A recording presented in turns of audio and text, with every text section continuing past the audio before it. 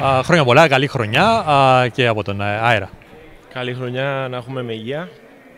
Ε, υγεία.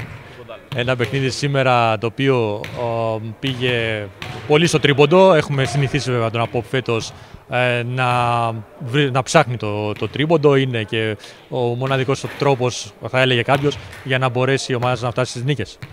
Νομίζω με τη, με τη φυγή του Λούκας από το Αποέλ, με τον τραυματισμό του, σε κάποια φάση μέσα στο γήπεδο υπήρχαν 10, 10, small, 10 κοντοί. Ε, δουλέψαμε αρκετά για αυτό το παιχνίδι. Είχαμε 10 μέρες μετά τη διακοπή.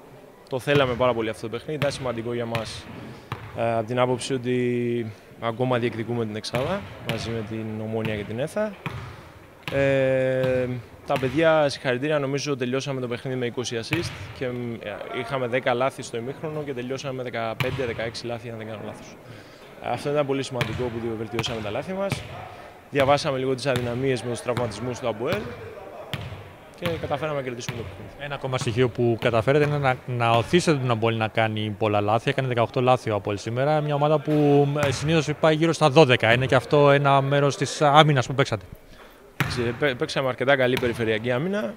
Αυτό είναι το όπλο μας. Δεν έχουμε ψηλούς στο ένας εναντίον ενός. Πήγαμε με ορισμένες ε, παγίδες στο low post. Καταφέραμε και κερδίσαμε το παιχνίδι. Πήραμε τα rebound που έπρεπε. Βάλαμε τα shoot που έπρεπε ο Πίγκραμ νομίζω έβαλε πάλι 7 στα 12 τρίποντα. Ωραία.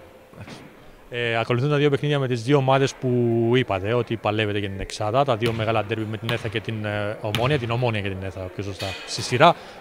Πώς ε, θα προετοιμαστείτε για αυτά τα παιχνίδια; Ωραία, ήδη τις 10 μέρες δεν δουλεύαμε μόνο για τα ΠΟΕΛ. Δουλεύαμε συγκεκριμένα και για την Τετάρτη που παίζουμε με την ΑΕΛ ε, knockout παιχνίδι για κύπελο και έχουμε τα επόμενα δύο παιχνίδια που ουσιαστικά με μία ή δύο νίκες μπορούμε να μπούμε στην Εξάδα.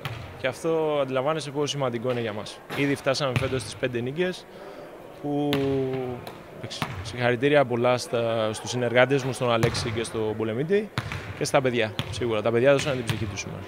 Ευχαριστώ. Να, να πω συγχαρητήρια στην ομάδα του ΑΠΟΕΛ και να ευχηθώ στο, στον coach Φραγκιά να είναι δυνατός γιατί πραγματικά του συμβήκανε πάρα πολλές ατυχίες φέτος. Ευχαριστώ πολύ και καλή συνέχεια.